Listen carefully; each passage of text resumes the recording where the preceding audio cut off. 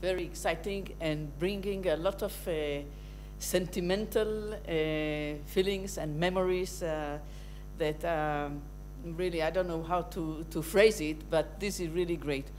Um, I'm going to give an extremely serious uh, lecture because uh, as you well know, we have started together our studies and we were students together and we took some anatomy and uh, from there I just continued and really flourished in the domain of paleoanthropology and uh, skeletal remains that we have excavated in sites. Well, pretty early, 1946, and the immense importance of this evolution and is the scope that you can see. It covers all the continents, most of the continents. I missed one or two. Uh, and um, you can see that the evolution of a scholar is actually built of different items and different components. This is actually a multidisciplinary uh, aspect of, of the trying to come up with the idea of how the scholar is looking like and what built it and what is the type of the evolution that we can say. I'm, I'm not going to use a lot of jargon because of the audience. I don't think the evolutionary jargon will be good here. But anyhow, this is really what makes the, the person, the family, the friends, the archaeology. The chef will uh, speak a little bit about the chef um, the colleagues, of course, this is part of the, and they're all intertwined with one another. And the professional, the person on the top, covers everything and is built of all these components that we are going uh, to see. Um, the friends. We're going to cover a few topics, but the friends are a, a very important issue. And as you can see here, uh, this is in the very initial, the beginning of the career, and the background is false because it should have been something totally different, uh, just dirt or just a skeleton, but that's how we all began.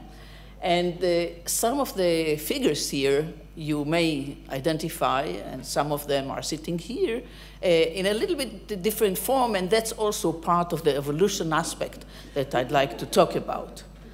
Uh, next, please. Um,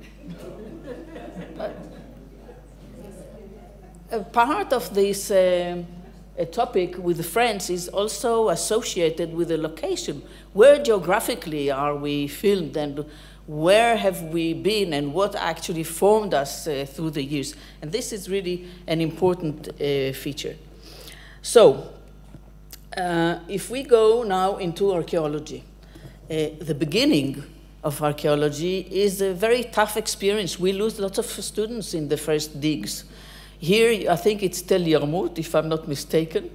Uh, I want you to see that in those days, early days, we were not uh, aware of the UV factors, and uh, we were also capable of showing parts of our bodies that today some of us try to avoid. Obvious reasons. Um, the archaeology is a, a, shovel, a pick and shovel, and it's very difficult. And we really decided at the very early stage that we have to shift into something more elegant. And so in the next slide, you can see Yoel uh, in a different form. The garments, I mean, the shirts are much better. Uh, the, the work is much finer. The company is fantastic, yeah. And I want to um, add here a word about Ella and Assaf and thank them for having us here and for producing this fantastic evening. And as you can see, the work is dirt. It's a very dirty business. And, um, but some of us really have a delicate positions and, and attempt how to fill in and how to behave in the field, and then you can see that despite the dirt, my mother calls it dirt, yeah? despite the dirt, it's not sediment, despite the dirt, you can see that Yoel is well dressed, and I will, I will provide a few more words about this topic in, in a few minutes. Uh, but he's very serious. A little dirt is sticking here and there, And uh, he, he, here he is training for the household chores that we know he is very much engaged with. Um, was uh, one of the formative um, stages of our careers, both Yoel's and many others who are sitting here who participated. There was no, no shading. Uh, shirts were, you know, different. Uh, but uh, if those of you have never seen this uh, um, Pelorovis, or perhaps he changed his taxonomic name by now, you can come to the Israel Museum and see it in exhibit, and this is attracts a lot of uh, attention even today. Um, archaeology is also supervision. Here you can see Yoel standing and uh, giving orders, instructions, how to sieve, where to sieve, and this is actually where, in terms of evolutionary process, he was actually formulating very important elements that will take place in his career a few years later. Um,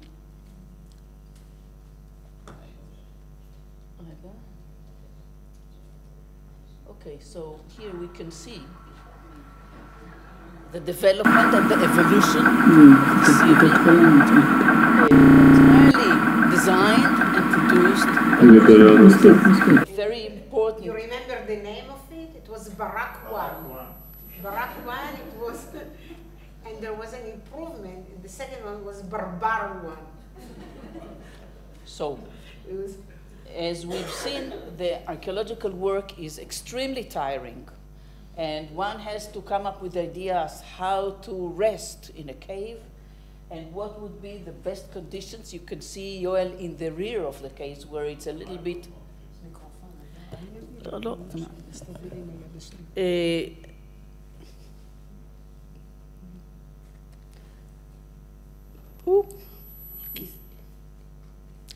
in the rear of the cave, it's uh, sometimes cleaner and also cooler.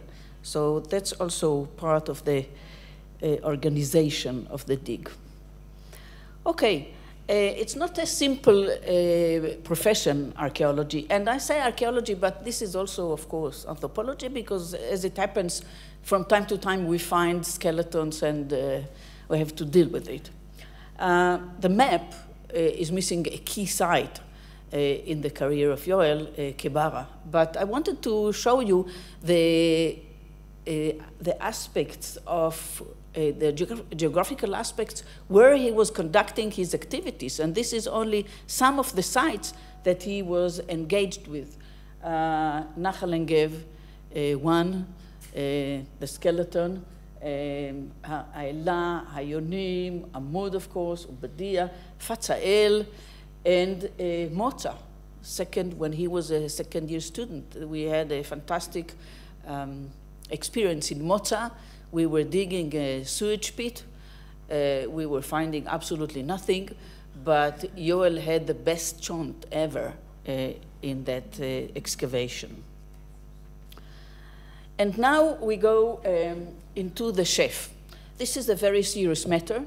Uh, people put a lot of energy and time into it. I'm going to show you this little slide twice, and it shows you the, the synergetic between uh, the nutrition and the archaeology. So please, the device, of course, was made Yoel. Please look at the uh, combination. I'm going to write it again. The combination between the food and the and the profession. And please note that the the, the space that the food takes is a bit bigger than that of the archaeology, which is buckets. Okay, so Yoel is uh, very well known about, with his abilities as a chef, and we were all very lucky um, to, to be able to enjoy it. You can see, oops.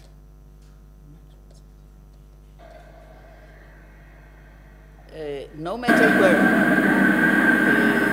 in the house, in the picnic, in the excavations, we all had fantastic opportunities to taste, and of course, in a very um, care, a lot of care about the expedition, not about himself. I just want to remind you that uh, in the beginning of our careers, we had a volunteer who came after his experience in Vietnam, and he offered, said, uh, take him to your house, and I'm sending with you a, a magash, a, a crate, a magash, A tray of eggs, 30 eggs. And, and Lloyd came to my place, and early in the morning in Jerusalem, he made an omelette of the 30 eggs and ate it all by himself.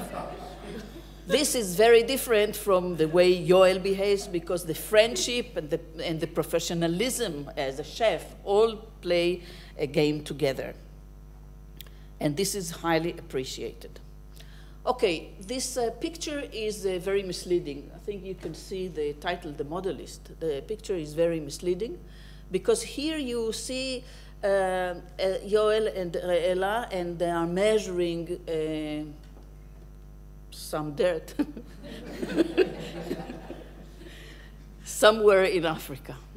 But I want you to notice the elegance uh, with which Yoel takes the measure because he really has this um, attitude, special attitude towards the, the, the, shirts and the garments and everything. And, and he, he looks experienced when you look at this uh, picture. And indeed, on the right-hand side, uh, well, you know, a skeleton, we found it, uh, what can we say? Then it was printed, then it was published, the, the, the regular stuff.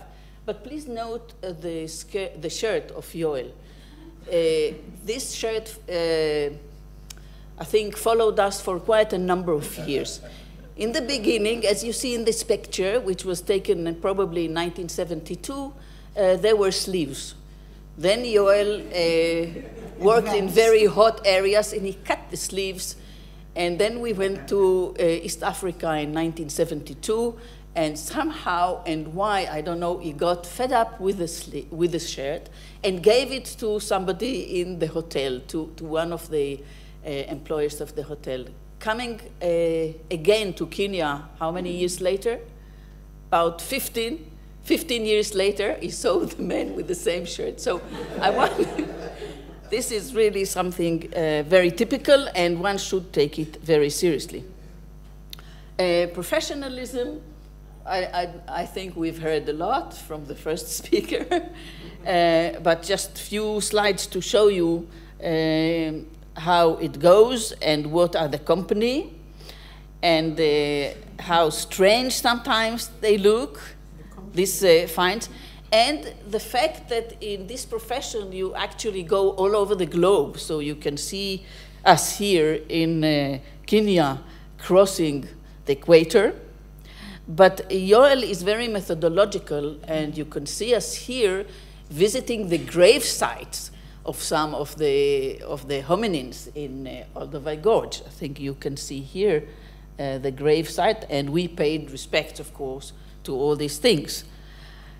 Uh, furthermore, there were very serious discussions on site, bed one in Olduvai Gorge, discussing and uh, listening to our teacher, Ofer Bar Yosef, who by then was the, I think, best scholar and best expert to explain what is going on in uh, Olduvai Gorge. Now it's uh, another game. There are three expeditions. They have very different views. Each uh, dirt is interpreted in different ways, but in the old days it was uh, quite clear. Uh, the anthropological aspects of his professionalism were also very interesting because we were sitting in the Nairobi Museum and we were looking at uh, stone tools, but Yoel was looking at the Kikuyu and he was particularly interested in the bullet holes in their skulls. So he was comparing here with the Maasai uh, different observations.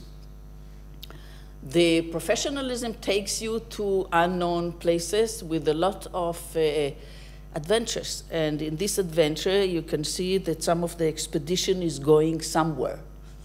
Map was not precise, but we are going somewhere. And then Uh, night comes and we continue to walk, and you can see that Ofer, for example, is carrying a big pot because we don't know what's the quality of the water, and Yoel is carrying the jerrycan, and I was carrying the passport. So there is clear division of labor when you look at these things. And finally, we were saved by uh, Richard Leakey, and I don't know if he likes that, likes us, uh, because they still today they tell uh, this uh, story about the expedition of the Israelis who came walking to Lake uh, then Rudolf and now Turkana. And of course, there are also nicer and cooler and more civilized uh, encounters with the professionals. And the final uh, photo in my uh, talk is the DNA aspect of the talk. The aspect, I mean, the most important person is, of course, taking the picture, Rika. But the DNA thing is the culmination of all the, what we know about the evolution, and I thank you very much for your attendance.